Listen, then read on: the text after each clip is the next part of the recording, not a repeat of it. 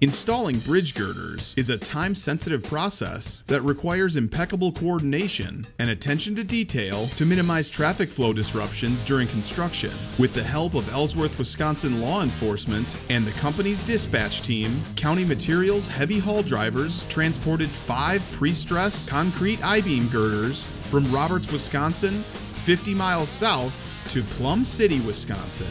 Each girder measured 136 feet long and weighed 140,000 pounds, making the transportation of these beams challenging. The extreme length of the girders required the drivers to carefully maneuver through a traffic light island going in the wrong direction.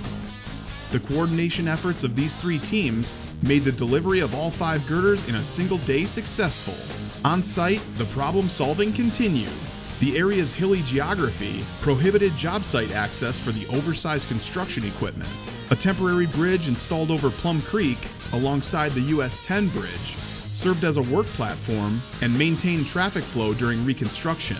The five pre-stressed concrete bridge girders, manufactured at County Materials Roberts, Wisconsin climate controlled production facility, were installed from the temporary bridge. During the manufacturing process, rebar loops were embedded into the girders to ease on-site installation challenges. The reconstructed bridge opened for traffic one short month after girders were delivered and installed.